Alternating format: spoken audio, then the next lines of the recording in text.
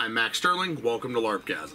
Today we're doing a holiday spirited food review and challenge. So whether you celebrate Christmas, Jesus' birthday, Kwanzaa, Saturnalia, Hanukkah, Yule, human holiday, Festivus, something else, or nothing at all, this food review and challenge is for you.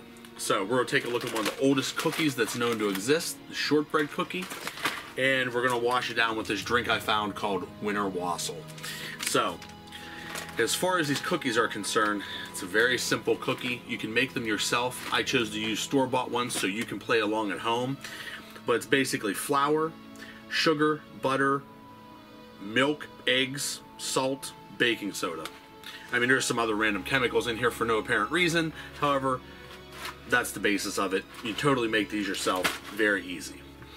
This drink, spiced holiday libation, it says, it's water, sugar, apple juice, black currant juice, fancy grape juice, spices, cinnamon, cloves, nutmeg, cardamom, ginger, lemon juice, and orange peel. So, also something you could make.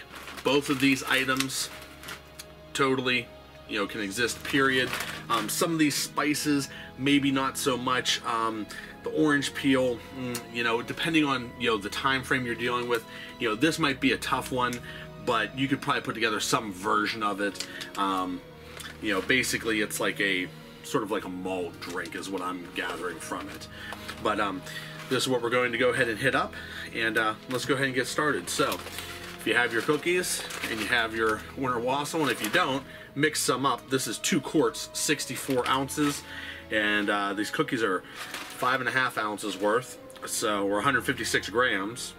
Uh, so go ahead and uh, get them out in front of you, and let's get started here.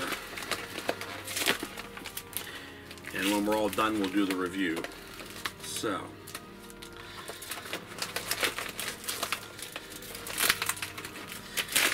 I think rather than drink this along with it, we're gonna eat these dry ass cookies first, and then we'll drink the drink. So these are in a, like a fancy container here that I can't get out because my hands are too big. So there's that.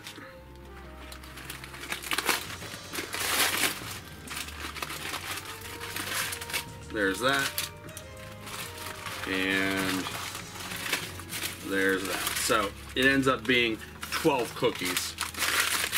Not very large, but um, it is a dozen. So we're going to get started with these. And uh, if you're ready, we'll go ahead and start in three, two, one.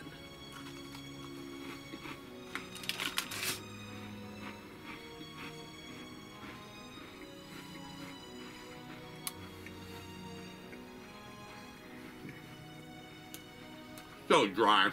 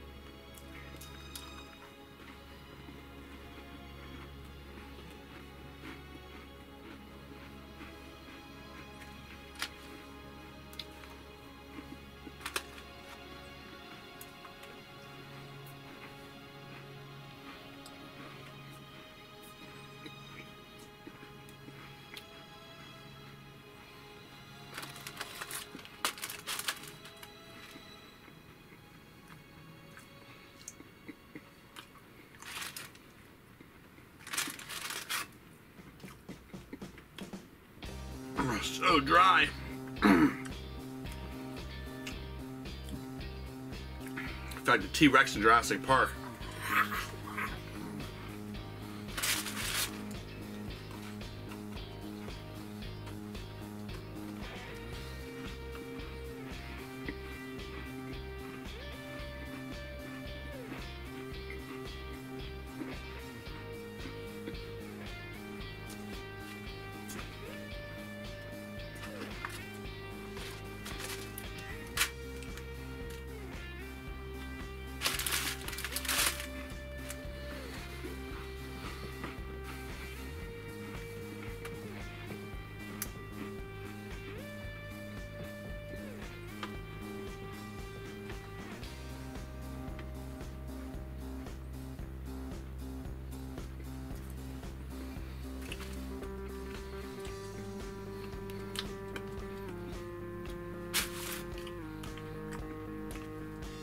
Four left.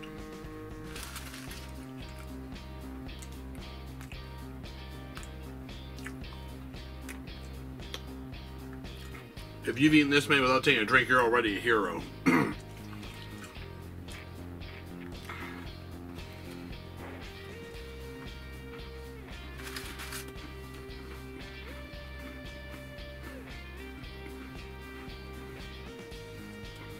I just want these to be done.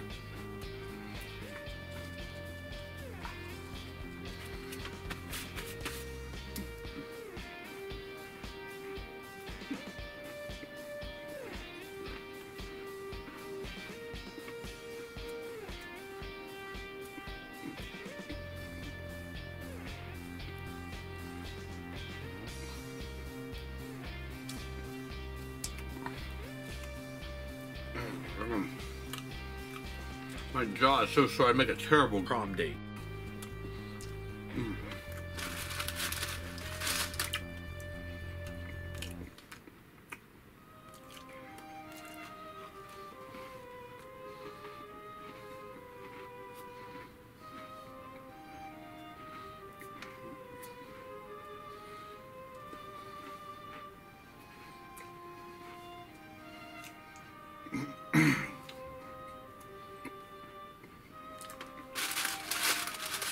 Oh, thank goodness. Last one.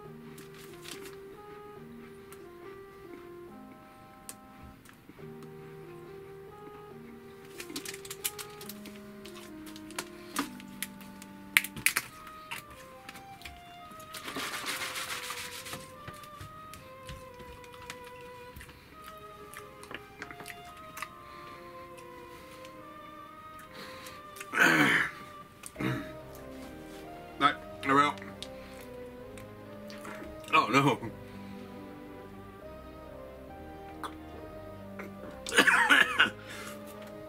Oh, my mouth's so dry I couldn't even drink. All right, here we go.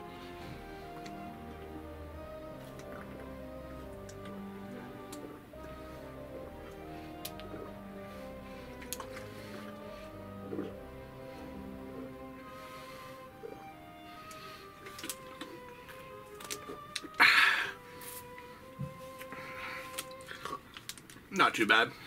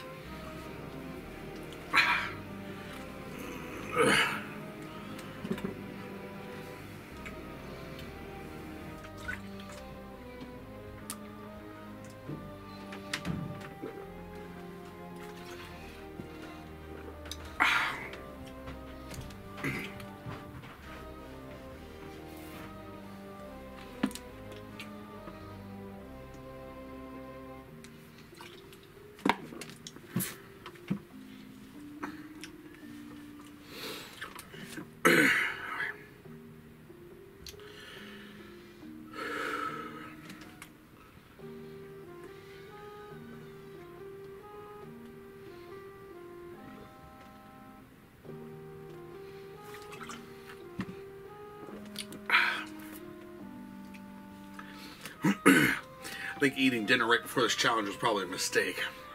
It's a lot of liquid. Ooh. Here we go.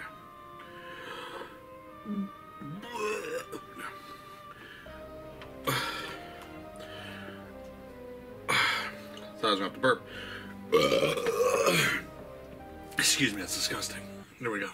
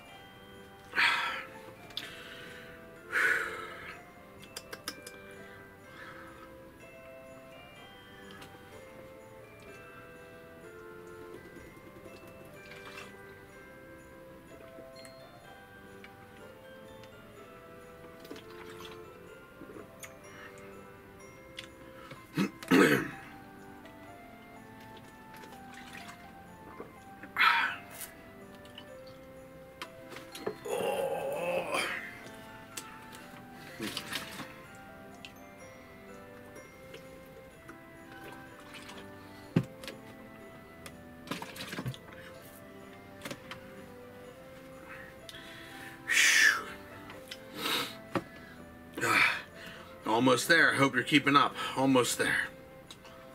Almost there.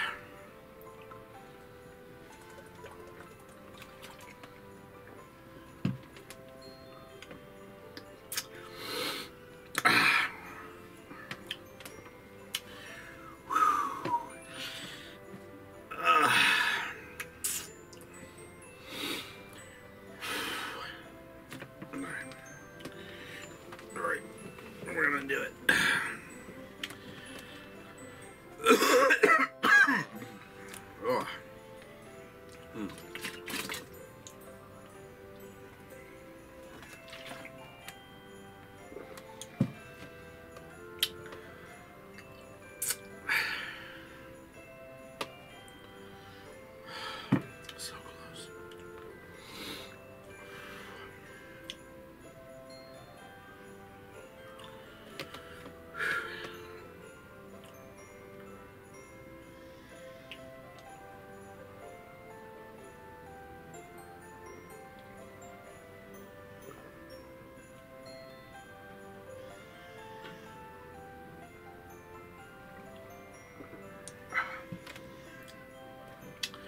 All right, we're right at the bottom of that label.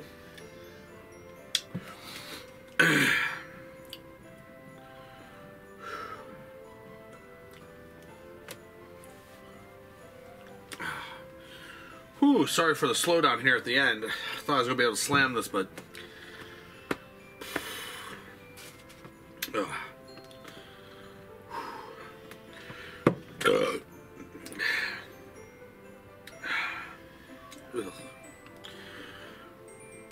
Excuse me.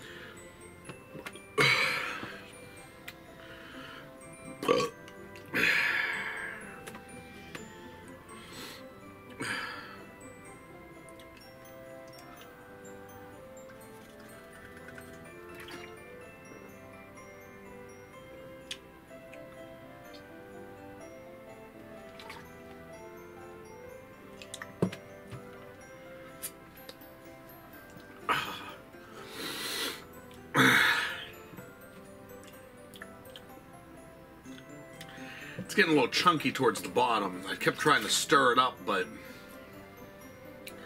towards the end here, there's a lot of spices. I gotta watch myself here. I'm not trying to yak.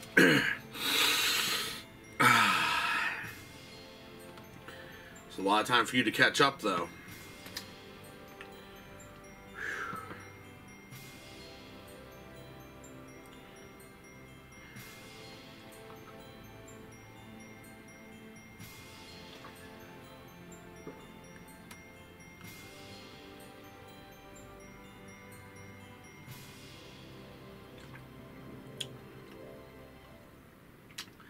So close.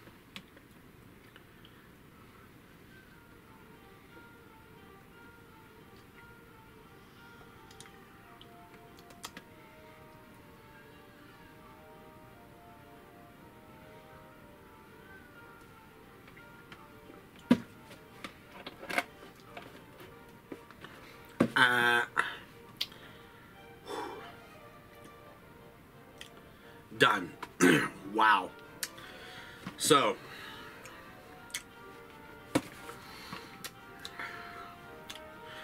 ended up being a lot more liquid than I thought it was going to be. So let's go ahead and talk about these. So, good for LARP. Well, shortbread cookies. Depending on the era that you're playing in, um, yes, shortbread cookies have been around for a long time. If it's a fantasy game, then, you know, sure, why not? The only uh, downside to them is that, you know, they are, you know, really sort of hard and dry and crumbly, so you have to be careful how you uh, transport them because they can break very easily. As far as price, those ones I bought way ridiculously overpriced for what they are. So that brand I would only buy if you were doing this challenge. If not, I'd just make them myself, find a recipe online, just make them. Uh, so portability, it's going to be rough. Price, if you make them yourself, it's going to be cheap. If you buy them, it's going to be expensive. So, yeah. Are they period? Yes. And uh, do they look the part? Sure. Depending on how you uh, cut them out and arrange them and stuff, you can make them look period. So I would say shortbread cookies are a definite go. Um, Store-bought ones, maybe not so much, but if you make them yourself, definitely good choice. This drink here says it's a traditional English drink, um, but I don't know what traditional means. Um, so you'd have to do a little bit of research to see what spices and stuff they had at, during what periods and you know when they had access to things like orange peel. Um, so depending on what area you play in, again, once again, this may be perfectly fine right out of the bottle. Uh, you may have to make your own and make some small adjustments. However, I think that this drink would be fine. Know, obviously for any sort of fantasy game, and uh, if you're not that concerned about the era or the time period or time frame, then this would be a great drink. So, price, not too bad on the pricing for, for what it is. Uh, transport, yeah, it's fine. Does it look period in this bottle? No. If you pour it into another bottle, then you'd be fine. And uh, how does it taste? You know, it's pretty good. tastes, you know, like a mulled drink. I mean, mostly the the cloves are pretty much overpowering, so mostly you just get cloves. But uh, yeah, between this and the shortbread, and everything tastes okay. It's just these cookies were dry and the cloves are a little overpowering on this, but you know it'd be great for you know any LARP you're going to. Now, if it's a post post apocalyptic type of LARP, uh, excuse me, or a uh, modern LARP, yeah, I mean modern would be fine. Post apocalyptic would be fine. Um, maybe mix up the ingredients a little bit in this. Shortbread would still be easy to make, probably. Uh, in the apocalypse, I don't know how easily accessible things like butter are, but um, you should be able to make some sort of substitute for it. So I think that these would work for most games, but if it's a medieval fantasy type of game, then this type of stuff would be great. Uh, good little holiday uh, cheer type of thing, or even just you know an after meal type of thing. So definitely recommend these two. Not high on my list of exciting things, but you know, it's pretty good. If you're looking for to do something just uh, you know towards the holiday season, then this is a good deal. Um, if you played along, I hope you uh, did well, and uh, if you did, please be sure to post the video. If you liked the video, please click like, please click subscribe. You can click the little bell icon if you want to be notified when I put new videos out, which is weekly. Um, but most importantly, please let everybody that you know know about my channel so they can share in the experience. And uh, of course, you know, if you feel so moved, I do have a Patreon account and you can become a Patreon of mine. Every little bit helps helps me to make this channel bigger and better for you so I can be more entertaining. And uh, you know, as always, adventure on. Oh, oh help me, baby Jesus. Oh. Oh, I think I'm to throw up. Oh.